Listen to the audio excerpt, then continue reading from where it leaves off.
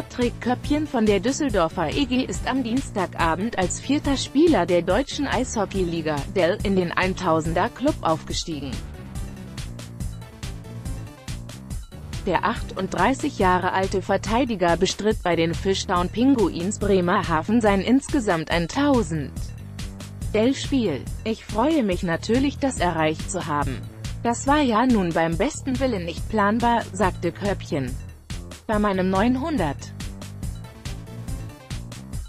Spiel habe ich mir mal gedacht, die 1000 gehen jetzt auch es ist schön, das geschafft zu haben, ergänzte er.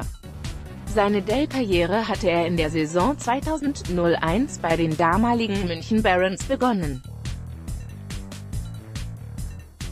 Die meisten Spiele bestritt er für die Hannover Scorpions 384, die drei vor ihm platzierten Spieler haben ihre Karrieren bereits beendet.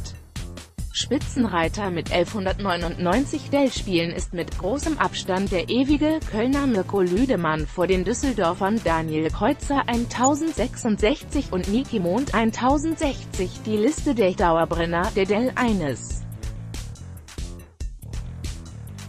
Mirko Lüdemann, letzter Verein Köln, 1199 Spiele 2. Daniel Kreuzer, Düsseldorf 10.663. Nikolaus Mund, Düsseldorf 10.604. Patrick Köppchen, Düsseldorf 1000 Sternchen 5. Sebastian Furchner, Wolfsburg 965 Sternchen 6. Klaus Kattern, München 9357. Sven Felski, Berlin, 9248. Boris Blank, Iserlohn, 9219. Robert Liesk, Nürnberg, 91.510.